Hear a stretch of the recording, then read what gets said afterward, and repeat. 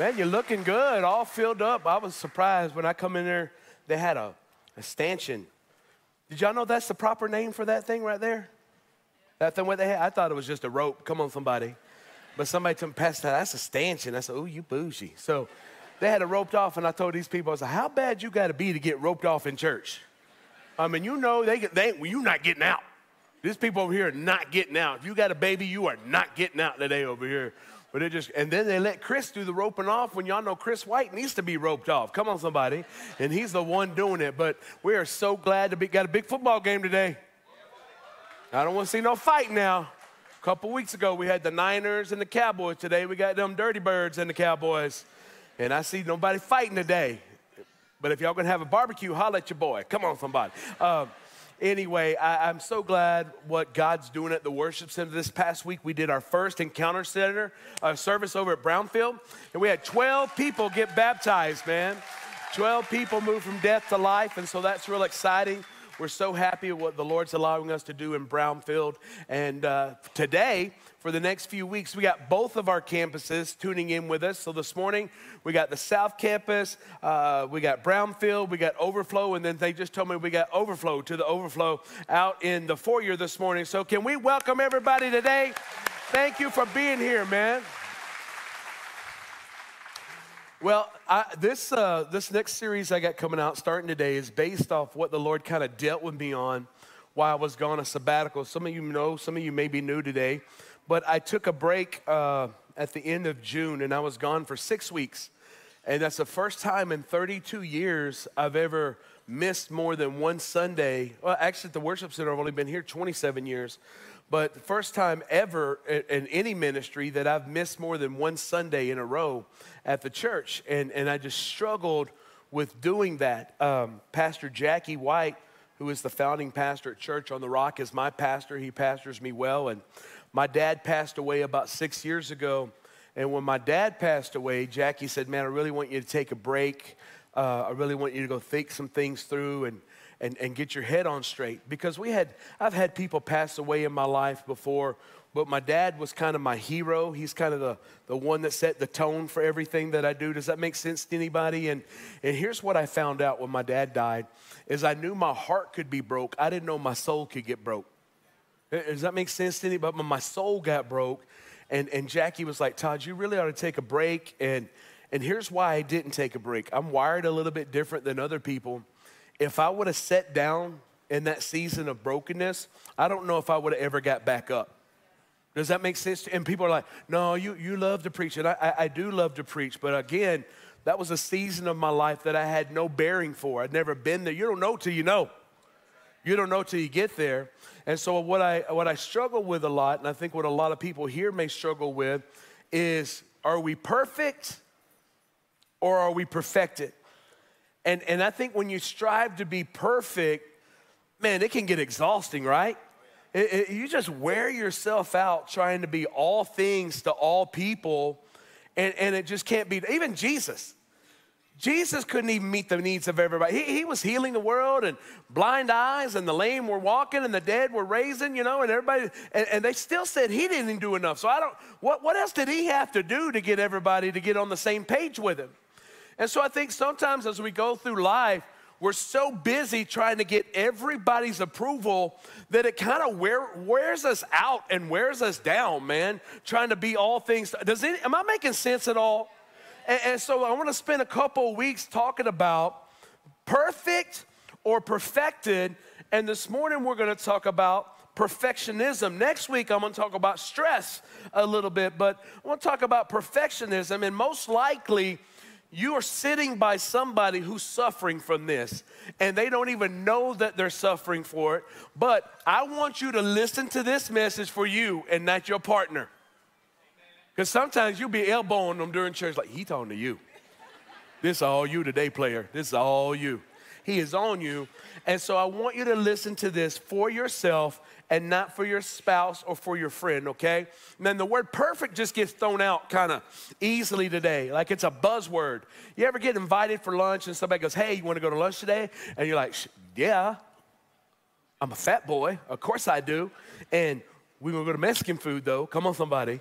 Five days a week. That's where Pat. You want to find, look for me. You looking for Pastor Todd? Find a Mexican food restaurant. Love it. You will find me somewhere with salsa all over me, just going in. I go in. Come on, somebody. If you don't come home with some evidence on your shirt, did you even eat? You got to have something on there. And, and, and so I'm like, what time do you want to go? And I'm like, 11:45. And then they send back, perfect. And I'm like, all of a sudden, like, ooh, that's a lot of pressure. Like, I just wanted to go to lunch. I didn't want to be perfect at lunch. I just wanted a lunch. Now you put perfect on there. Now that's a whole nother standard. I don't know if I can meet perfect. I don't know if I could do it because I might, I'm gonna spill on my shirt. I'm gonna tell you, I'm, whatever. I, I can't go eating somewhere without taking some of the restaurant home with me. If you get in my truck, my wife's got them little shout out wipes in my dashboard so I can clean myself up so I can go back to work look halfway decent. And it's just a struggle, but they use the word perfect. Like, how you doing today? Perfect. Oh, that looks perfect. But does it really? Does it really look perfect? And, and, and I struggle with stuff like that, and there's so much pressure. So here's the thing I want to tell you. Point number one I'm not perfect.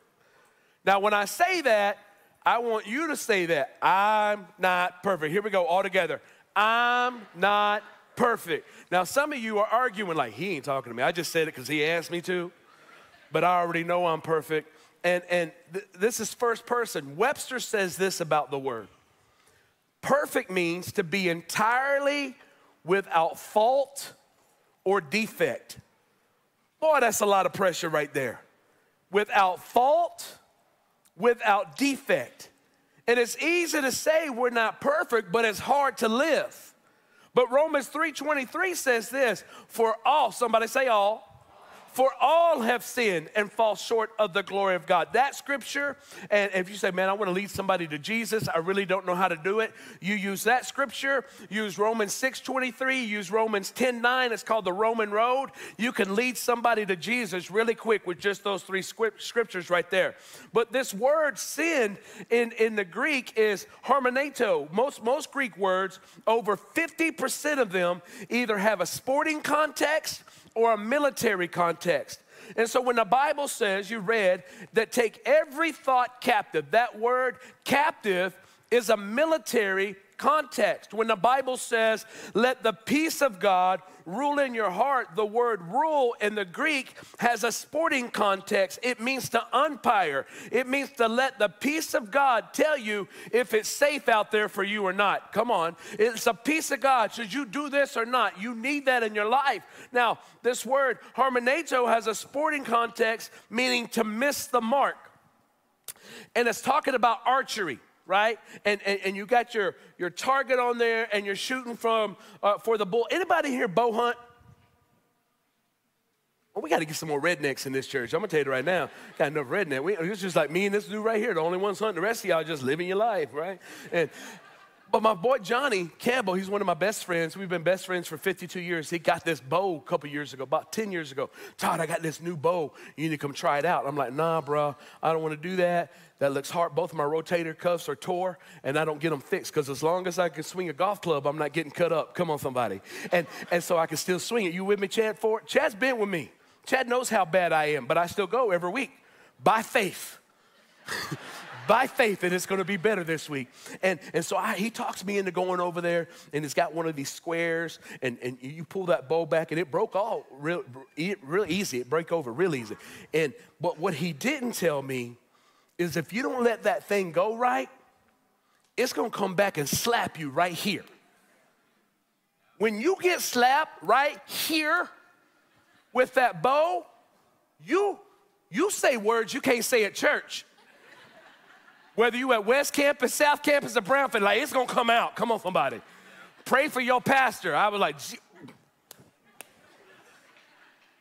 and and he's like, man, it'll, it'll heal up. I'm like, it's raw, bro. Like it's raw. It's no skin there. Like I'm out. I'm out. And he's like, no, you come try it again. Now he's got a crossbow, and he's like, come try the crossbow. I said, I got one. It's called a 30 aught six right? That means I'm hunting with my rifle. I'm out on the bow game. Pop one time, that's, I'm, done. I love Todd. Todd don't like to hurt like that. And, and that, was a, that was a mistake I could have avoided if somebody would have told me what to do. But nobody told me. All of a sudden, I'm Shanae. told me.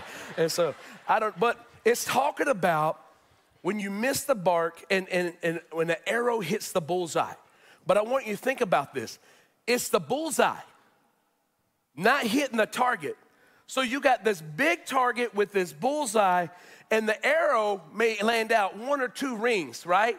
You're out here, you're still on paper, but you're not in the center of the bullseye. That's what this word sin means. It doesn't mean debauchery, it means you barely miss the center of the bullseye. So when the Bible says all have sinned, you'll hear somebody say, Well, you know, I, have made a few mistakes. No, no, no. None of us have hit the center of the bullseye every day, all day, every second of the day. Would you agree with me on that? None of us have done that. Perfectionism, what I'm trying to tell you, is an unreachable goal. You cannot be perfect. Look at your neighbor, say, neighbor, you can't be perfect. Now look at your second choice, say, you too. Now some of you just got your feelings hurt because you found out you was second best. Come on, somebody. You thought you was the best thing since Big Red. You going home like, I didn't even know. Nobody even told me. Nobody loves me like that. And the sad thing is, though, we will wear ourselves out trying to achieve something that we cannot achieve. We'll have anxiety about it. We'll be worried about it. And it wears you out trying to be perfect. You can't do a perfect job. I cannot preach a perfect message. There have been times that I thought, shit, I rung the bell today. That's it. Boom. Put me somewhere. I done did it. And then I go home and I ask Trish, I said, What'd you think about that message? I said, Didn't you think it was perfect? She's like, Well, I'm like, Thank you, Job's comforter, you know? And so she's, Well, you know, you said this and you were supposed to say that. And, you know, uh, you said there was 10 disciples and there's 12. You said there was 12 commandments and there's 10. And I'm like, Well, you pay a little bit too much attention right there. What you need back at that but she blows it up. You know what I'm talking about? And I'm like, man, I thought I did a pretty good job. And I admit, I am a recovering perfectionist. If you walk with me, if you spend time with me, you'll know about this. And I really don't know how much a recovery I am because I'm very OCD, I'm very detailed oriented. Like if you invite me over to your house and your pictures are crooked the whole time in your house, I'm just like, how do y'all even sleep here? If your, cur- your, if your furniture's not set up symmetrical, I'm just like, oh. I can't do it. I can't. I go to the bathroom and I, am like, can I use your bathroom? And I'm like, Jesus, fix these people right now. They, they crazy up in this place.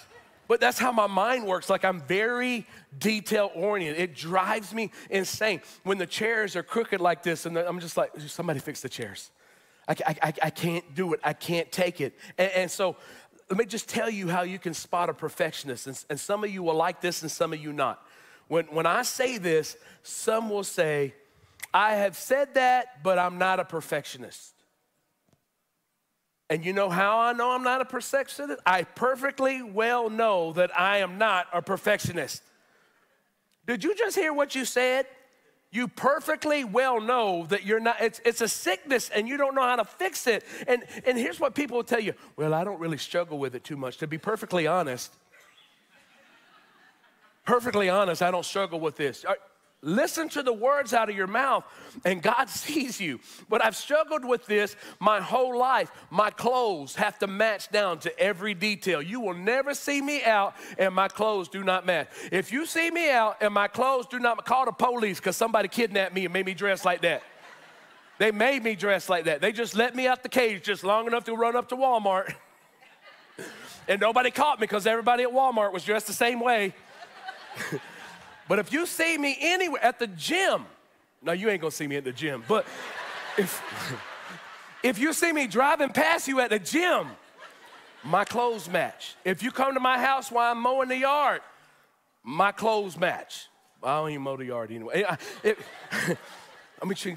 If you see me washing my car, my clothes match. I always have to match. I pick out my outfits on Saturday what I'm gonna wear on Sunday because it caused me so much stress to make sure my stuff matches. So I'm like in there, like this morning, I had a whole nother shirt I was gonna wear today. But it was real busy, and I thought, well, people be trying to read my shirt rather than listen to the message, and I don't need to do that, but I need to wear my new shoes that I just got, so I gotta find something that goes with my new shoes so I can look cute for everybody when I get there today. That's a lot of pressure. And you think you don't really do that. Ask my wife. My wife is dressed already out the door, and I'm like, ah, what are we gonna do? I can't look ugly at church today. I can't be the one that looks like they don't have friends. Come on, somebody. I, I, I just struggle with that, and, and I tell you, I'm, I'm crazy about. And if I'm talking to you out in the foyer and I've got something in my teeth, for the love of God, tell me I got something in my teeth. If I got a booger in my nose, don't let me walk around the house of God. Well, okay, glad you're here. Hey, good to see you. And everybody's like, Did you see that booger in his nose? And nobody told that. You saw it and you gossiped about it. And you didn't, if my pants are unzipped, tell me my pants are unzipped. Don't let me be on somebody's TikTok tomorrow. Come on. I, I just, you, are you with me on this? I want to know if my breath stinks. Tells me. Don't let me walk up to everybody praying for everybody. How you doing in the name of God? Well, I was doing better till you got here. When I got here, I just need prayer for my, my, my, my marriage, but right now I need prayer for my nose. My nose, you, you smell like you come straight from hell, Pastor Todd. You ain't never seen people come up there and pray and they smell like coffee and all that. They're like, the Lord saith. I'm like, ooh. I don't want him to talk to me right now. I don't, I don't want God talking to me right now if he's talking through you. That's why we got breath mints up here for all the altar. Tell them. Tell them, look, I want to hear from Jesus, but right now I cannot focus. Yeah, do yourself a favor and get yourself a mint. Come on, somebody. They're all up here. They're free. and if you're getting prayed for and you need one, take one. Let the altar bear all those sins. but don't you want to know those kind of things? Like, and that's how my mind works. It's like, why didn't somebody tell me? Or if I got a spot on my clothes or whatever, I want to know. I'm just saying, I'm not perfect. And you're not perfect. So here's point number two He is perfect. I'm not perfect, but He's perfect. Let me show it to you. Psalms 18:30. As for God, his way is perfect. Now, we have a lot of people out in society right now that are saying, no, God's way is not perfect, but, but we just read a scripture that said his way is perfect. So if I don't like what the word of God says, it doesn't mean that his word's not perfect. It just means my flesh is out of control. Nobody likes to be told no. And so the word of God shuts us down on some things. Come on, somebody. The word of God has caused me, when I used to go to the gym long time ago, it's caused me to move treadmills. Because the girl in front of me ain't got nothing on. She just barely got, I don't even know how she got there this morning with that less amount of clothes on. I'm like, I cannot stand here. Pastor, you shouldn't stay left. Okay, let me lie to you. I didn't even notice the hot girl standing in front of me with everything hanging out. If I stood there, I would have been, thank you, Jesus, for making this right here. Thank you. But you know what I was more thankful for? The woman he gave me at home. And I respected her enough to move over to somewhere else so that later on I'm not trying to fantasize about something that I don't even know. Picked up something I may have never wanted. You're not ready for me. When I got a woman that keeps me going the way I need to go, she's the mother of my son. She keeps our house to going, and she makes our house a home. I take a check and she takes it home and makes it dinner. You're not hearing what I'm telling you. You think I'm gonna step out on something like that over something I saw when God's already got blessed me with everything I need? I'm not going to jeopardize that. And I'm not trying to be super spiritual because there was times I was just like, oh, I'm glad I got this treadmill today. But there comes a time when you realize that you're drifting. Am I making sense to anybody? So his way is perfect. Psalms 19:7 says this, "The law of the Lord is perfect." Here's one talking just about Jesus. Hebrews 4:15, "For we do not I love this is one of my favorite scriptures. You are you need a favorite scripture? Here's one right here. "For we do not have a high priest who cannot sympathize with our weaknesses, but was in all points tempted as we are, yet without sin. What's that mean? Without ever missing the bullseye. Jesus had hit it every single time. Jesus Jesus never missed the mark. I'm not perfect, but my God is perfect all the time. And let me tell you something else about Jesus. The world examined him and they could find no fault in him. The leader of the world could find no fault with him. Pilate said, I see he's done no wrong. And he said it three times. Watch this John 18 38. Pilate said to him, What is the truth? And when he had said this, he went out again to the Jews and he said to them, I find no fault in him at all. John 19, 4, Pilate went out again and said to them, Behold, I'm bringing him out to you, that you may know that I find no fault in this man. John 19, 6, therefore, when the chief priests and officers saw him, they cried out, saying, Crucify him, crucify him. And Pilate said to them, You take him and you crucify him, for I found no fault in him no fault. That means our Savior is perfect. Can you say amen? And we live in a world with a bunch of unperfect people. You're unperfect. You're imperfect. And I know that hurts your feelings because you think you're the best thing since Hubba Bubba, but you're not. You know how I know we got imperfect people in this world? Go to the gas pump. Why can't you round up? Why you got to get gas like 53, 52? Why you can't go to like 55? Or better yet, just go all the way to $54. That don't bother you at the pump and you pull up and somebody just put $53.03 in there and you're like,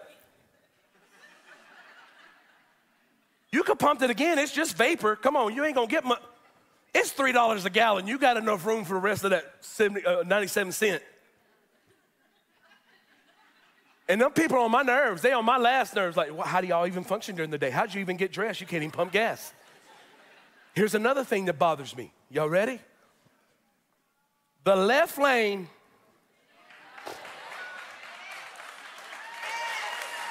The left lane is for people that have somewhere to be.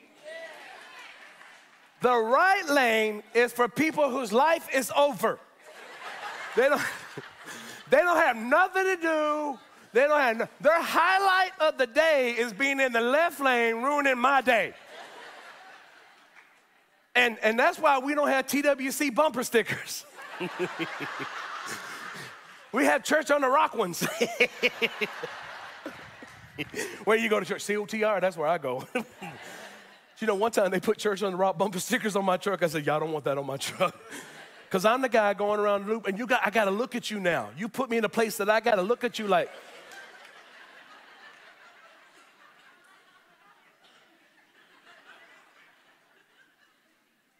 And I got to slow down to look.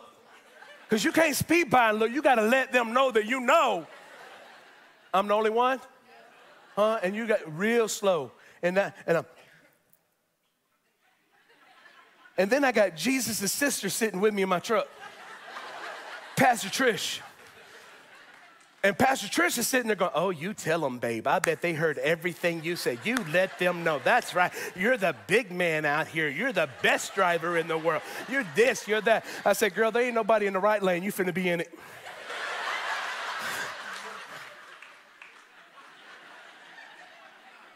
if you still here when I come back by, I'll give you a ride. she aggravates the thunder out of me, man. She's just like, mm, mm, mm. I bet they got, do you feel better now, Todd? Do you feel better? That's what I got to live with.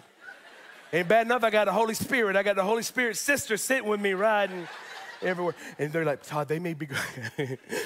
Can I tell y'all something real funny? Let me get back to this. One Sunday I was coming to church and somebody was in the lane over here to get into church. And I was like, dang, come man they might as well just park that thing and paint a fence around it as fast as they're going.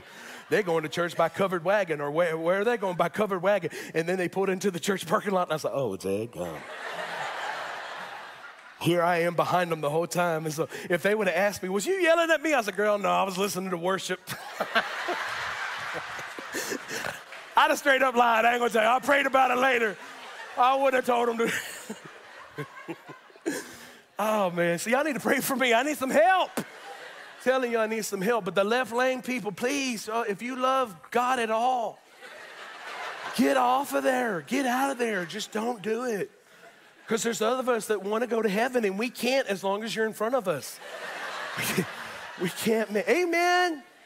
Amen. So the rest of the people are like, I'm getting in the left lane when I leave here. That's what I'm going. I'm going to.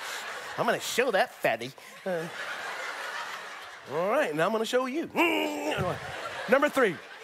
First off, I'm not perfect. He's perfect. Here's number three. I am perfected. Now, we had a lot of fun and we joked around, but please don't miss out on the last part of this message. I am perfected, and so are you as a believer in Jesus. I preached all of that to get here. We are perfected by grace.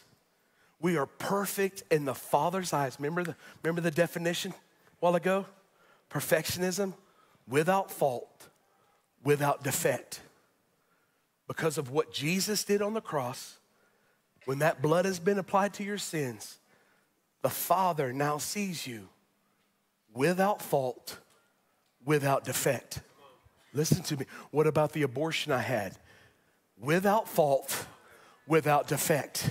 What about the, the divorce I had? Without fault, without defect. What about my past? Without fault, without defect. What about what I did yesterday? If you bring it under the blood, it's without fault and without defect. You can't do it for yourself. You've got to have the blood of Christ. And when you have the blood of Christ, you're not perfect, but you get perfected in Him, and you are found in the eyes of the Father without fault and without defect. Oh, this is so good, man. If you catch this, you'll never be the same again. And I want to show you in scripture that, that a, a, a scripture here that most people say, man, I don't have any understanding of it. I'm going to tell you, you will not understand this scripture I'm about to read if you don't read it with the lens of grace.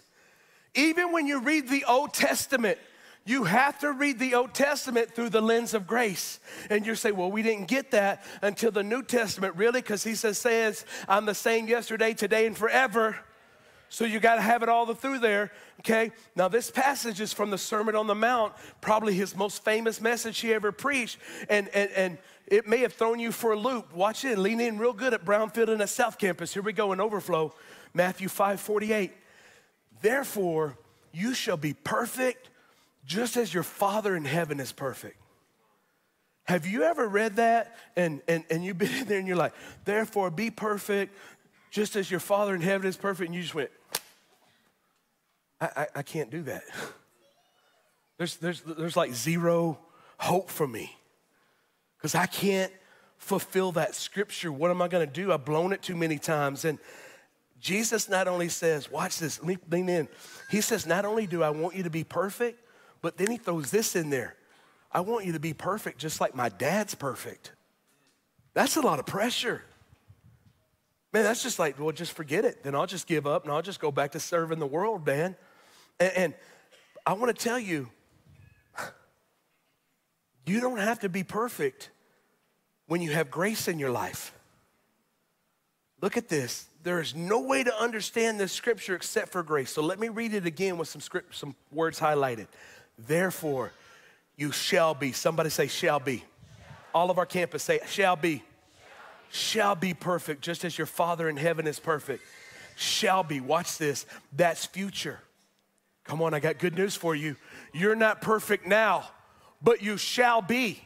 You're, you're not now, but once Jesus is going to do what he's going to do on the cross, then you will be perfect and you will be complete in the eyes of the Father, lacking nothing. You'll be perfect in the sight of God once I do my part. This word perfect in the Greek is teleosis. It's an adjective which is describing a noun, which is us. We're the people. But hear what it means it means complete. You shall be complete. Sometimes it's translated as finished. You shall shall be complete once Jesus completes us. The other word is finished. Let me show you where the verb is in the Greek of the word teleo. This is the verb in the action. Watch John 19 30. So when Jesus had received the sour wine, he said, It is finished. Bowing his head, he gave up his spirit. It is finished. It is done. It is complete. This is the exact same word that we just read in Matthew chapter 5 that translate as perfect. Jesus is saying, The work I just did on the cross is perfect. And then he bowed his head and gave up his spirit. It is finished. I've done the work now. I was describing how you would be once I did the work on the cross, but now I've done it. Because of what I did, you have been made perfect. You have made complete in the eyes of the Father. So when God looks down on you, when you have applied the blood of Jesus to your sin, He don't see you as broke, busted, and disgusted. He doesn't see you as a slave. He sees you as a son and He sees you as a daughter. You are a son and daughter of royalty. You've been made perfect, perfected by what He did. Though He was perfect, we're made complete. In other words, the work He has done. He referenced it many times. What did he say? I'm here to do the will of my Father. Not my will, but your will be done. Over and over again. And he kept telling the disciples, he said, Here's how I'm gonna do it. And I haven't done it yet, but I'm gonna do it. And every time they did it, the disciples were like, No, no, no, no, no, no. You can't do that. You can't leave us. And Jesus says, I've gotta go. Because if I don't go, come on, you can't be made perfected. If I go, you stay broke. I got to go do this so you can get whole and you can get healed. He said, In order to do the complete work of my Father, I've got to be delivered over to the chief priest and the scribes, and I've got to be crucified, and I've got to get buried. But don't worry, in three days, I'll get back up. I will get back up. And they kept saying, No, God, no, Jesus, no. And, but let me show you some scripture where the Greek word is being made complete, made perfect, is in the Bible. And you go back home. You, everybody needs to memorize this scripture right here. Don't forget the scripture I'm about to give you. Colossians 2.10. Everybody write that down. Colossians 2.10. Are you ready? And it says, You are complete in Him when somebody tells you you don't hit the mark, go back to your Bible. I am complete in Him. When you feel like you failed as a husband or a daddy, I am complete in Him. When you feel like you failed as a wife or a mama, you go back to the Word and say, I am complete in Him. I don't care what the world says. The Bible says I'm complete. I may have not met the mark, but He did. And because He did, I'm complete in Him. Watch this. This is where Jesus says, I'm going to be made complete. He says, I'm going to be made perfected. Let me give you some context. This verse, uh, right before this, they said to him, Herod's going to kill you. They trying to threaten Jesus, but Jesus didn't have no punk in him. You tracking with me? He ain't got no punk right? And so they're trying to get him all uh, head games. And just to show you how Jesus wasn't scared, look what they said to him. Herod wants to kill you, Luke 13. And Jesus said to him, Go tell that punk. That's what go tell the fox. Says Fox, but let me put it in 2023. Go tell that pump. Don't start none, won't be none. Huh? Because I stay ready. I ain't got to get ready. That's what he's saying. I don't know how y'all read y'all's Bible, but that's what I got. What's up? Ooh, Jesus finna go night night. He finna put somebody out night night. Here finna go to sleep quick, boy. I don't know. Maybe that's not true, but it gets me excited right there to know that Jesus might. But don't start none. Sit with your chest. Anyway, go. Behold, I cast out demons and I perform cures. Now he's going to reference the three days.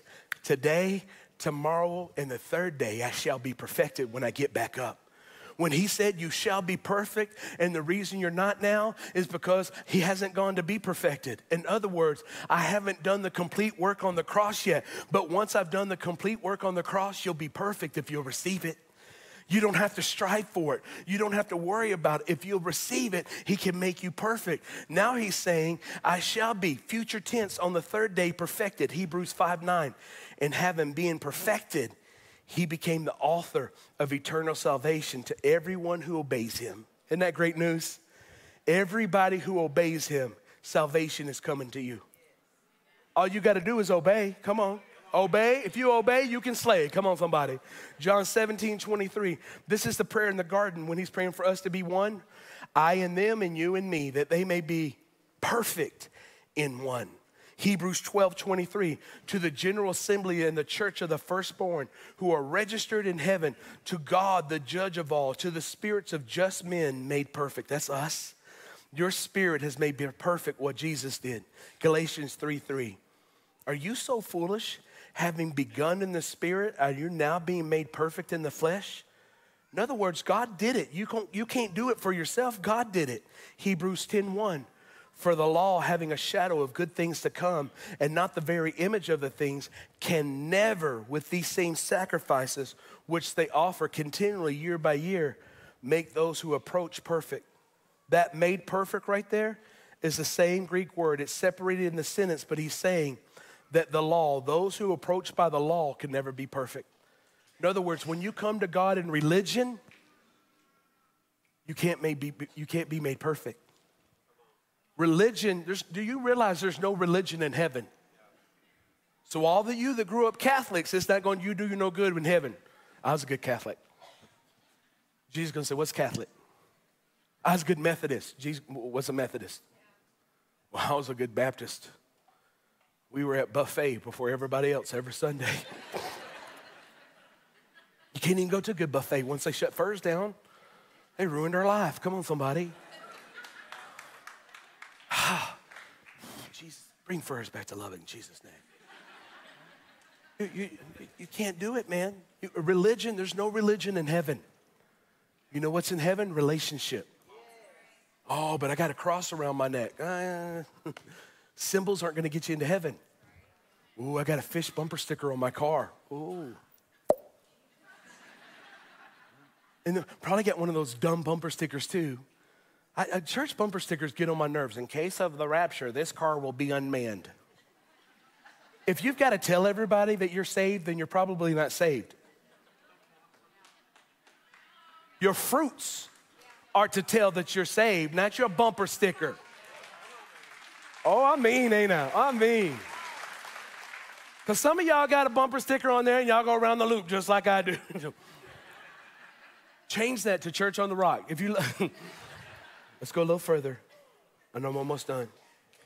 Because I want you to stay with me because if you catch this, you will stop trying to be perfect when you catch that you've already been made perfect in the sight of God because of what He did on the cross. I want to free you from some shame and some guilt of trying to strive to be all things to all people, which you can't. Even Jesus said, I'm going to go away. And the disciples, no, no, no, no. And Jesus said, I've done everything I can from the outside. But I got to go away so somebody can come live on the, so the Holy Spirit can empower you to be what you can't be without yourself. It's only through the Holy Spirit that you can keep driving in the left lane. Come on. I'm being serious. It's only through the Holy Spirit that you can do those things. Hebrews 7 28, because this is what the law does. For the law appoints as high priests men who have weaknesses.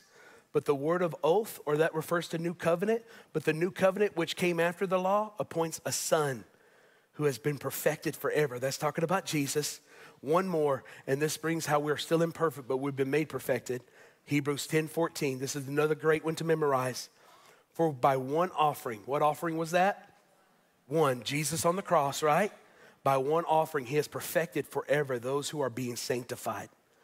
He has perfected those who are still imperfect. Now, listen, when you come to the altar and you ask God for forgiveness, there's a word that, that is called for that's called justification.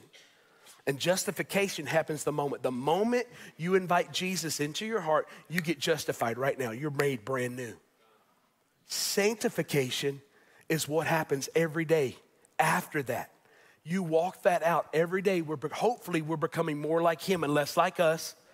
Come on, amen. And if there's still a whole lot more of you than there is his, then you got to wonder if you ever got saved.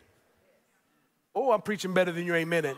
If you got so much of your old life that nobody can tell by the fruit, not your bumper sticker, but the fruit,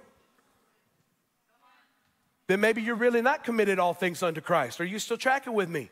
And when we come to, we are justified at that moment, but that word sanctified, that is something that happens every day after that. He has already made us perfect in the eyes of God, or we couldn't go to heaven. When it dawns on you, what Christ did on the cross is complete, it will free you from being a slave to perfectionism, and it will free you from being a slave to religion. You can be in a relationship because why? He's already perfect perfected us. And I'm not perfected. I'm helping somebody right now. I'm not perfected by, my, my, by my performance, but I'm perfected by my position before God. Let me say that again. You're not perfect by your performance. You're perfect by the placement that you now have in Christ. I'm not perfect in my behavior, but my belief puts me in a perfect relationship with God so that sanctification can show up every day of my life and I become more like Him. My belief in Jesus, and I think a, there are a ton of people who struggle in this area. I think there are a ton of people. I'm one of these people. I am really good at giving other people grace. I'm not real good at getting grace to myself. And what I've noticed about most church people too is we're really good about giving grace to people who sin like us. But when their sin's different than our sin, we have no grace for them. And we try to categorize sin. And we try to say that, well, if you're homosexual, that's level 10. I'm just a liar. I mean, I just lie about everything, but I'm not gay.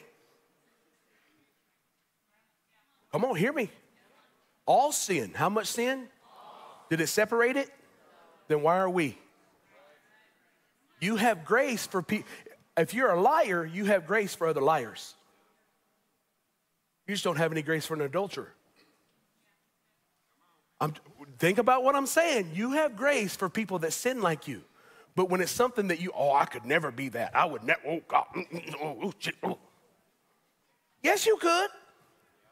You could be all of those things without Jesus. Without Jesus, you have no idea what you're capable of without Jesus. It's the grace of God that keeps you from going off in all those other areas. It's not because you're so good, it's because our God is so great that He's perfected us by His work on the cross. A couple months ago, at the end of June, I'm almost done, I, I took a six week break here at the worship center. It's the first time in 32 years I've ever missed more than one Sunday at a church. I've never missed more. Even when I had cancer surgery, I was cut from here to here. I had 72 stitches and I was up here preaching. So I went on sabbatical because Pastor Jackie, he says, Todd, you really need to take a break because there's some wear and tear. Can I just be real with y'all this morning? Without, I'm not going to judge you and y'all don't judge me. Can we, could, could we have one of those moments where your pastor's just honest? After 32 years, what I begin to realize is I didn't like people no more. You say, well, that's terrible. You're a pastor. I know something was broke. Something was broke because if you know me at all, if I'm going somewhere, I want everybody to go. I don't want just like two or three. I'm like, just get them all. Let's all go. It's better when we're all together. Don't do life alone. And Trish would call me and she's, hey, Todd, Moose and Jocelyn, you know, Jocelyn up here with her thing. Like, look, I bet she don't talk back to Moose no more. Y'all see that brace she's wearing? I bet she don't talk back to Moose no more. Sometimes you just got to put them in. No, I'm just playing. And so she failed, trying to put up Christmas decorations. So I, I, I'm sitting there and she goes, hey, let's go to eat. Moose and Jocelyn called us. I said, no, I don't want to go. Then the next day, like some of our other friends, like, hey, well, they called, let's go eat. I said, I don't want to go. After weeks of this, Trish goes, what's wrong with you? And I said, can I be honest with you? And she said, yeah. I said, I'm peopled out. Like nobody made me do this, but you ever got a time in your life where you feel like you had to perform for everybody? Nobody asked you to do it, you just kind of felt like if you didn't do it, you were letting people down? I need some real people up in this church. And so you're saying yes to so many things that you can't even do a couple of them right. Because you don't want to disappoint nobody, right? You don't want to disappoint nobody because if you disappoint somebody, they might find out you're human. And we can't let anybody know that we might be human. And we can't let anybody know that we might be tired. We can't let anybody know that we might just be worn out after 32 years of marriage counseling, of 32 years of doing funerals, 32 years of brokenness. You, you might not want everybody to know that you're a little rattled because then they might think you're human. So I go on this break, and I'm just being raw with you. I go on this break that I don't even want to be on. Because I think you got to be weak minded to need a break. I'm just being honest with you. I go on this break, in the first three weeks, all I hear is my dad's voice in my head. Now, my dad's old school. You go to work, and when you ain't working, you go to work. Anybody got raised by a parent like that? Uh, my daddy, grown man, living, I'm living in my own house, paying my own bills. And if my dad called me on Saturday, like six o'clock in the morning, I answer the phone like I've been up for three hours. I'm stone cold. And the phone ring, and I see his, hey, what's going on, man? What are you doing? I said, oh man, I had to take a break to answer this phone. I'm hard at it. What? Whew, I didn't even have time to talk. What are you doing? You know, but that's just how he raised me, and he just put that in me. And so I don't know what you do if you don't go. But he always told me you can sleep when you're in the casket. You can get a break when you're dead. I'm like, mm, I don't think you need one then, but okay. But I'm not gonna say that loud because you know he want. Not this timeout stuff. We didn't have timeout. Timeouts when daddy went left handed to right handed. Come on, somebody. He's patriotic. He laid on the stripes and I saw the stars, bless God. And, and so for three weeks, all I can hear is my dad. You know, my dad, he, BK worked with him at, at the co op. And you know, when my dad left there, still for two years, he still got sick leave and, and all the time. And some of the guys, like BK and some other guys, donated time for two years. My dad still got a check from the place he worked. That's how much time he had. That's just, that's just how he was wired. So for three weeks, I'm on, it's about six weeks, but the first three weeks, all I can hear is my dad saying, Boy, get your butt out of bed. What are you doing laying down, Todd? What are you doing taking a break? What are you doing feeling sorry for yourself? Get, get up, boy. I'm disappointed in you. I can't believe I raised a punk instead of a man. Can't believe you let all this wear and tear get to you. Get your butt up out of that bed. Go back to work. Do what you need to be doing. You're an embarrassment to your wife. You're an embarrassment to your son. You're failing your church. You call yourself a man. Three weeks I heard that. And you don't pray to the dead. But I said, I said, man, I can't hear the voice of this ghost anymore. Dad, you're ruining my time. I don't know what to do. I'm sorry. I found myself saying I'm sorry to somebody that's not even in the room anymore. Daddy, I'm sorry that I'm a failure. I'm sorry that I'm broken. I'm sorry I'm disappointing my wife. I'm sorry I'm not living up to the standards that you set to me. I'm sorry, okay? I'm sorry. But when my dad died, I knew I could hurt in my heart. I didn't know I could get broke in my soul. Nobody told me that something you could go through would, would lead you to depression. Because I was always told if you're a Christian, you don't get depressed. And here I was, a tongue talker, a believer, depressed, wondering how do I even get out of bed? And all I wanted to do was die. I didn't want to be here anymore. And in the middle of all that, greater than the voice of my dad's voice. And I will tell you that's exactly how my dad sounded, but he did not sound like that the last 15 years of his life. But the enemy made sure that I didn't hear what he said when I was building the worship center. The enemy made sure he didn't, I didn't hear what he said when we were getting to go around the world and giving altar calls, preaching to thousands of people and hundreds of people getting saved and getting baptized. The enemy made sure that I couldn't hear my dad saying, I'm so proud of you, son. Don't give up. Keep going. I wish I could do what I never, all I could hear was the worst, never the best. Don't you see it's a ploy of the enemy to make you think that you have to be perfect? And you can't. And you weren't made to be perfect. And because you were broken, God so loved the world that he gave his only begotten Son, that whosoever believeth in him shall not perish, but have everlasting life. It's okay if you don't check everybody's boxes for you. It's okay if you have to disappoint some people. It's okay for you not to be superhuman. It's okay for you not to be a, a Marvel hero. Because if we're honest, sometimes we think we're superhuman, and when we don't hit that mark, we think we're subhuman. And here's the truth of God's word He's just called you to be simply human. Not super, not sub, just simply human. And He knew you would struggle with this. And He said, I'm gonna send you a comforter called the Holy Spirit so that you don't let the voices of dead people cause you to live in shame and guilt and condemnation.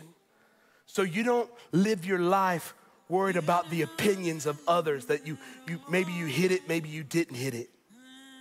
That's a lot of pressure, man. That's a lot of pressure to live up under, trying to make sure everybody loves you and every it's exhausting. Some of you walked in here this morning some of you at Brownfield, some of you at South Campus, some of you in Overflow, and you know exactly what I'm talking about. You are trying to live up to everybody's expectations when the Lord has just called you to be simply human. He didn't make you a human doing, He made you a human being. And the only way you can be is to rest in who He is and what He's done for you on the cross.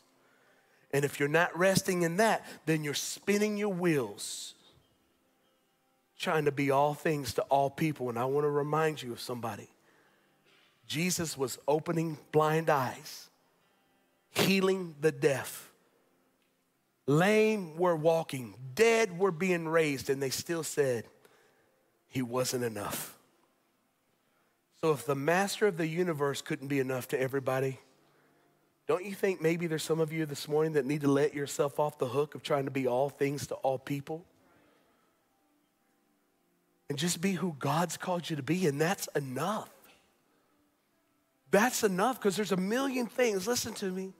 As gifted as my father was, there's a million things my dad could do that I couldn't do. But there's a million things that I can do that my daddy can't do. Doesn't mean I'm better, just means we had two different ways of doing things. And God made you special. God made you the way you are, and you're not a failure if you can't do all of those things that everybody's putting on your plate. People got mad at me. I'm not a counselor. I'm genuinely, Pastor, I want you to counsel me. I'm not a counselor. We have counselors on our staff. You know why? Because I hire the best people in the world. So if you come to me and I, I get you, hey, I'm going to put you with somebody, it's not because I don't want to spend time with you. It's because I, want I want you to get to the best person. There's nothing more frustrating in the whole world than calling somebody that can't help you. You ever talk to that person and you're on the phone like, okay, I know you can't help, but I need to talk to the one that told you to answer the phone. And they're like, well, they're not available. I said, what can, what can I call them? Well, you ain't answering because you ain't no help. That's what I want, I want to get you to the right places, but I don't waste your time for me trying to be something. I'm not a counselor. I'm a pastor, but I'm not a counselor. And people, you come to me for counseling, you're gonna leave with your feelings hurt. That's, that's just the truth. Because I'm not a counselor. You got real needs, and I'm just like, okay, is there, is there an end to this story? There an ending? Land the plane. For the love of God, land, land, land. land. And you go talk to Pastor Shane, and Pastor Shane, he'll just sit in there with you all day. He'll knit with you, he'll draw pictures with you. Pastor Jimmy over at South, same thing. They're, they're gifted like that. But that doesn't make them better or worse. It just means that we're made different. some of you have been trying to be all things to all people, and when you're not, you just, I'm just, I'm just a failure. And I want to release you of some of that guilt of being perfect this morning. But you're going to have to get honest and just say, you know what, Todd, you're right. I've been afraid to admit out loud that I'm not Superman. I've been afraid out loud that I'm not Wonder Woman. Can I take people already know? They already know. And the ones that love you are okay with you not being those things. What they're not okay with you being is somebody other than He made you to be. And when you're trying to be all things, you're exhausted. So you can't be what you were really made to do. Are, are, am I helping anybody at all? You, you can't do the one thing you were made to do. This is it for me. This I love this. This is it. I love preaching God's word because I think I can take something that's really, really hard and make it really, really easy. I, I, don't, I don't try to talk to you because I think you're dumb. I, I, I talk to you because I'm dumb. This is the only way I can understand it. There's some of you who can do this way better than I can. Maybe you'll get your own church one day and you can do it. I already got one. So, and I'm okay with this. I'm okay with never going to Bible school. I'm okay with never been to seminary. I'm okay with all of those things. Why? Because I've just decided that I'm just going to be simply Todd and let Him be the great God, and I'm going to fall in His grace. Okay? So, so here's what I want you to do. I want you to bow your heads where you're at, whether you're in overflow, whether you're out there in the foyer, south, wherever you're at. I want you to bow your head. And I want you to ask, God, what are you saying to me today? Holy Spirit, what are you trying to talk to me about? Some of you have been wrestling with condemnation for years, wrestling with shame and guilt for years, and you're trying to reach an unreachable goal. And I'm praying that through this message, you can give yourself grace and receive the grace of God. So nobody's looking around, whether you're at South Campus, West Campus, Overflow. I want everybody to respond that needs this this morning. You'll just be honest. Whether you come and let us pray for you this morning, you just be honest. Pastor Todd, I need some of God's grace because I am slap wore out trying to be perfect. If that's you, can I see your hand? Yeah, don't be ashamed of this.